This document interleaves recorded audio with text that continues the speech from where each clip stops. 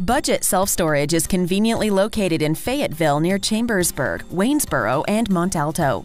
We offer secure vehicle and boat storage with 24 hour computerized gate access.